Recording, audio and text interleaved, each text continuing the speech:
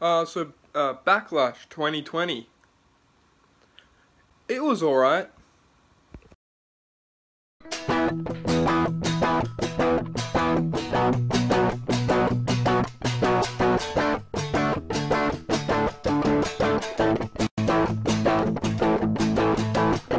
Mixed on the Australian icon.